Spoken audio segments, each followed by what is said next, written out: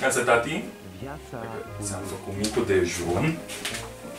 Aici cacao cu lapte și un de arahide cu banane. Mă mir că l-am găsit, că știi cât de greu se găsește. Și acum facem pâine nou.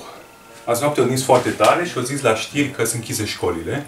Și eu mi-am luat liber ca să stau cu tine azi și o să stăm amândoi, ne jucăm cu Lego, ne uităm la desene, facem ce vrei tu și stăm împreună. Mami la lucru, eu o să vină pe la amiază.